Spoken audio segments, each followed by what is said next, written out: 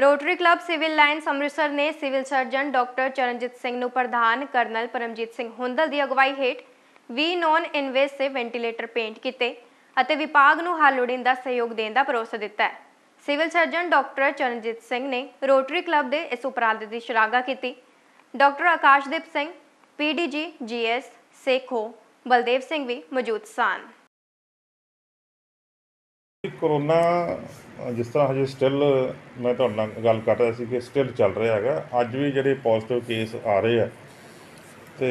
ਸਰਕਾਰ ਹਜੇ ਫਿਰ ਵੀ ਜਿਹੜੀ ਅਸੀਂ ਸੋ ਕਾਲਡ ਥਰਡ ਵੇਵ ਕਹਿੰਦੇ ਆ, ਉਹਦੀ ਤਿਆਰੀ ਚੱਲ ਰਹੀ ਆ ਤੇ ਉਹਦੇ ਵੱਲੋਂ ਸਰਕਾਰ ਵੱਲੋਂ ਵੀ ਹਦਾਇਤਾਂ ਆਈਆਂ ਨੇ ਕਿ ਜਿਹੜੇ ਤੁਹਾਡੇ ਹਸਪੀਟਲ ਨੇ ਉਹਨਾਂ ਦੀ ਸਟਰੈਂਥਨਿੰਗ ਜਿਹੜੀ ਹੈਗੀ ਹੈ ਕੀਤੀ ਜਾਵੇ। ਤੇ ਸਰਕਾਰ ਦੀ ਹਦਾਇਤਾਂ ਅਨੁਸਾਰ ਅਸੀਂ ਆਲਰੇਡੀ ਮੈਂ ਦੱਸਿਆ ਰੋਟਰੀ ਕਲੱਬ ਜਿਹੜੇ ਅੱਜ ਸਿਵਲ ਲਾਈਨ ਅੱਜ ਆਏ ਨੇ ਐਂਡ ਜਿਨ੍ਹਾਂ ਨੇ ਗੁਰਦੁਆਰਾ ਸਾਹਿਬ ਜਿਹੜੇ ਸੈਨੂ ਦੇ, ਉੱਥੋਂ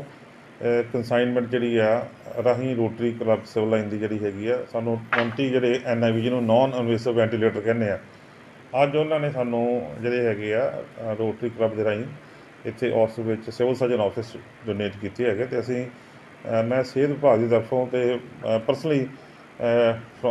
ਬਤੌਰ ਸਿਵਲ ਸਰਜਨ ਉਹਨਾਂ ਦਾ ਬਹੁਤ ਬਹੁਤ ਧੰਨਵਾਦ ਕਰਦਾ ਹਾਂ ਸੈਨ ਹੋਜ਼ੇ ਗੁਰਦੁਆਰਾ ਐਸੋਸੀਏਸ਼ਨ ਨੇ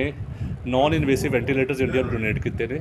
ਉਹਨਾਂ ਨੇ ਇੱਕ ਕਨਸਾਈਨਮੈਂਟ ਸਾਨੂੰ 20 ਯੂਨਿਟ ਦੀ Rotary Club Amritsar Civil Line ਨੂੰ ਵੀ ਭੇਜੀ ਹੈ, ਜੋ ਅੱਜ ਅਸੀਂ ਸਿਵਲ ਸਰਜਨ ਆਫਿਸ ਦੇ ਵਿੱਚ ਡੋਨੇਟ ਕੀਤੇ ਨੇ। ਇਨ ਫਿਊਚਰ ਜੇ ਕਿਤੇ ਥਰਡ ਵੇਵ ਆਂਦੀ ਹੈ, ਤੇ ਸਾਨੂੰ ਉਮੀਦ ਹੈ ਕਿ ਇਹ ਵੈਂਟੀਲੇਟਰਸ ਬਹੁਤ ਹੈਲਪਫੁਲ ਹੋਣਗੇ।